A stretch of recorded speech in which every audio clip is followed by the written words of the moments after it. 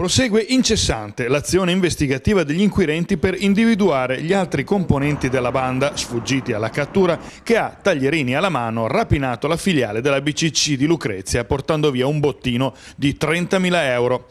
Una banda di pendolari del crimine giovanissimi, che quasi certamente era venuta dal Foggiano appositamente per compiere il colpo e che nelle prime ore del pomeriggio doveva già far rientro, almeno questo secondo le loro intenzioni, nel loro territorio. Nel carcere Villa Fastigi rimane quindi per fermo di iniziativa giudiziaria, in attesa di comparire davanti al giudice, il diciannovenne di Cerignola, uno dei due banditi che si sono introdotti nella banca e che è stato catturato dalla polizia poche ore dopo la rapina Marina mentre tentava di raggiungere un altro mezzo per darsi alla fuga assieme agli altri complici. Probabilmente l'udienza di convalida dovrebbe avvenire nella giornata di sabato, giorno in cui potrebbero emergere altri elementi a riguardo di questa vicenda.